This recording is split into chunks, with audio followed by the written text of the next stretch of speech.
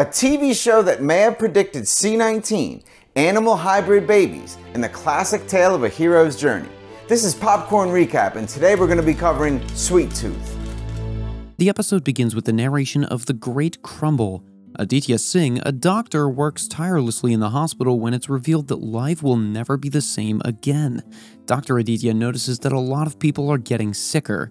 The narration goes on to imply that a terrible virus called H5G9 is spreading, which is rather unsettling now. Dr. Aditya continues his routine as a doctor as the chaos slowly grows around him. Meanwhile, a father chooses to go into the forest and abandon the world, while Dr. Aditya remains in the burning world. Dr. Aditya then wakes up one morning and searches for his wife, Rani.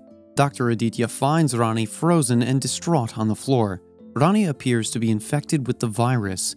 With the world in disorder, Dr. Aditya and Rani jump in the car, drive away from their home, and go to the hospital.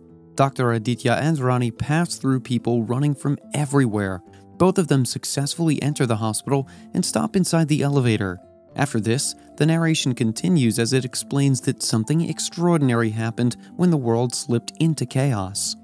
Meanwhile, a nurse calls Dr. Aditya asking if he's a doctor. Dr. Aditya follows the nurse through the hallway of the hospital. He gets curious when he sees parents outside the baby ward, and they appear distressed, and some of them are sobbing.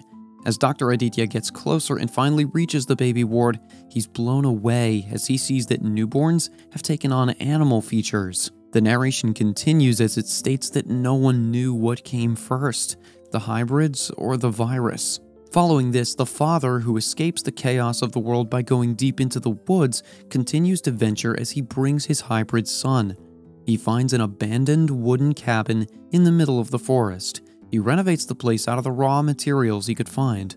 He also manages to get water and rebuilds the fences of the place for their safety. After that, the father continues creating a new world in the woods for himself and his infant Gus in order to survive. One night, while Pubba is creating a handcrafted book for Gus, Pubba hears Gus refer to him as Pubba. As a result, the father adopts that name. As Gus slowly matures, Pubba gives him handcrafted books Gus and Pubba also have remained in the woods. While Pubba is fishing, he reminds Gus of the rules that if Gus hears a growl, he should duck. If Gus hears a voice, he should run. If he sees a human, he should hide. One day, as Pubba and Gus are extracting saps from the trees, they hear a jet flying above. Pubba covers Gus's ears. As the jet crosses above them, pamphlets go floating down to them. Pubba picks one pamphlet that says there's a safe place for your hybrids that also promises medicine, healthcare, food, water, shelter, and safety. The pamphlet also includes their radio frequency. Eventually, Pubba becomes concerned about the outer world intruding on their isolated life in the woods. Gus, who is half human and half deer, is now able to see perfectly. He's also more conscious of the outside world and he frequently inquires about life outside of the woods with Puba. Pubba then describes a self destructive and selfish society in which nature has made everyone sick, but then the hybrid miracle occurs, which many people fear. Following this, Gus's security continues, and as he gets older, he decides to venture outside of the fence and further into the outside world. Gus takes in the scenery the sounds amplify. Pubba finds him and he's furious. Pubba and Gus argue, Gus is adamant that he thought he could hear his mother, but his father tells him that she's gone. Things take a turn for the worst when Pubba comes into a man hunting for his sister. Pubba is frightened since it's been a long time since he's seen a human. According to the man, the outside world is still in shambles, with tribes battling for what is left. He also mentions that the virus still exists and that some people believe the hybrid created it. As Gus grows closer and closer to revealing himself, Pubba becomes concerned that the man will notice Gus. Pubba then uses his broom gun to try to scare the man away. Pubba's worries are well founded when he realizes their spot has been identified for future predators. Following this, Pubba instructs Gus to take refuge in a secret chamber under the stairs. Pubba tells Gus to wait for him to return. Pubba goes back outside to confront the man. After a moment, Gus emerges from the secret chamber to discover a deer in his yard after a while. It warms him up right away. Pubba screams in the distance, and Gus turns around. He ultimately exits the house to see how things are. As Gus takes it all in again, the sounds of the environment become louder, but Pubba appears, hurt. Gus carries Pubba after collapsing. After Pubba recovers, he tells Gus that his mother's name is Birdie. He goes on to say that they were separated as the world came crashing down around them. He refers to Gus as a really special boy and asks him to prepare him breakfast. Gus discovers that his father has died when he arrives home. After some time, Gus has become the man of the house. His antlers have grown, and his imagination has as well. Gus makes creatures out of sticks and communicates with them. Following that, Gus discovers an old box with a photograph of his mother with Colorado written on it. He then comes upon a pamphlet claiming to be a safe haven for hybrids. Gus pulls out a map and locates Colorado. He embarks on a new journey, but is soon ambushed by a guy with a bow and arrow. Another man approaches him from behind and grabs his antlers. They have a strange fascination with him and refer to him as special. Gus tries to flee from the man, and the two hunters are subsequently shot. Tommy Jepperd stands behind him. On the other hand, Gus is still scared, so he flees and hides. Tommy eventually enters the home where he's hiding and speaks with Gus, telling him that his antlers are worth a lot of money to a poacher. Tommy discovers Gus and is astounded that he can communicate. Tommy tells him not to light a fire during the day since he's seen the smoke from afar. Tommy subsequently performs some renovations to Gus's house, but Gus remains skeptical. Before leaving, Tommy refers to Gus as a sweet tooth. Gus yells after him, inquiring as to where Colorado is. Tommy advises him to remain put since it's dangerous out there for individuals like him.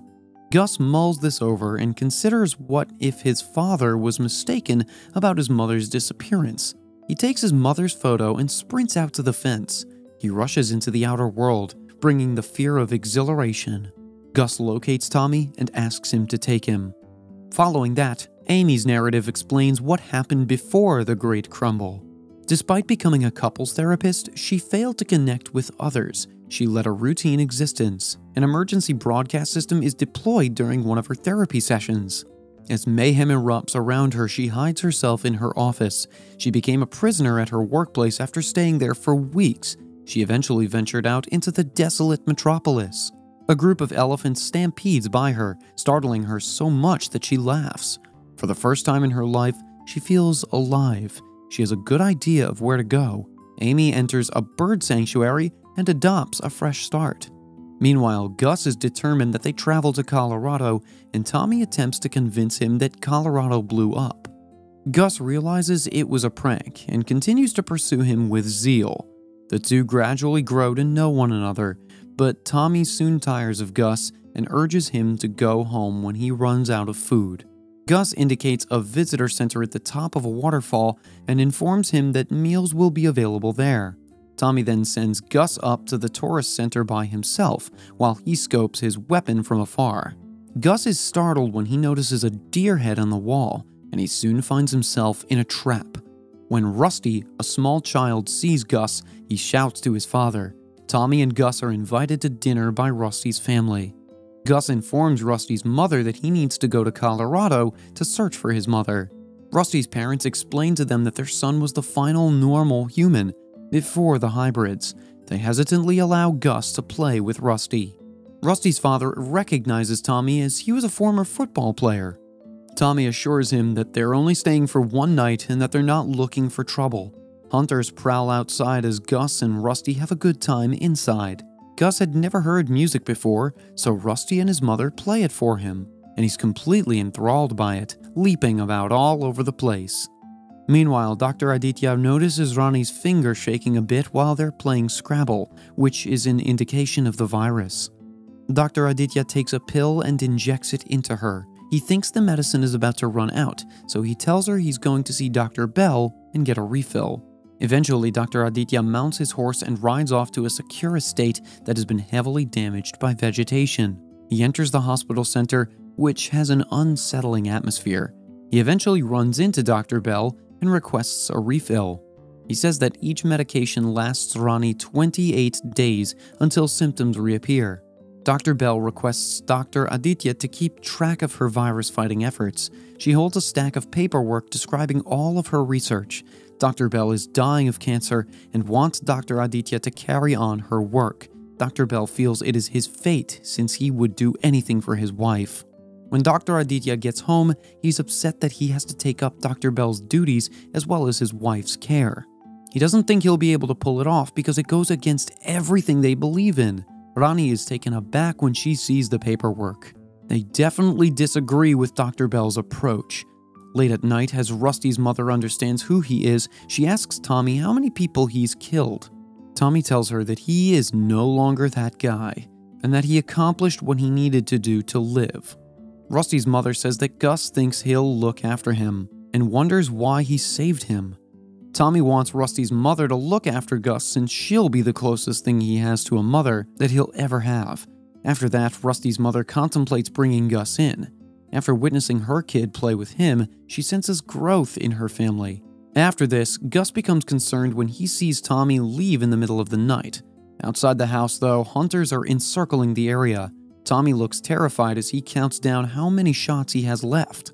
The main hunter awakens the family, who informs them that they have the right to enter the home and requests that they surrender Gus since they suspect he's a hybrid. Tommy demonstrates his combat prowess by dispatching the hunters one by one, leaving a trail of dead men in his wake. However, one of the men enters the house as the rest hide. Eventually, Gus then attempts to hit the man with his slingshot, which has no effect. Then Gus lunges at him and injures him with his antlers. Gus takes a position across from the man, who's oblivious to a large deer behind him. Tommy then murders the man by sneaking up behind him. The following day, Rusty's father informs Tommy the next day that his family comes first and that Gus cannot stay with them since Gus brings too much attention. Gus and Rusty bid farewell to one another. After assisting Tommy and Gus on a cable car, the family departs for good. Gus informs Tommy that he'll go on his own in search of his mother.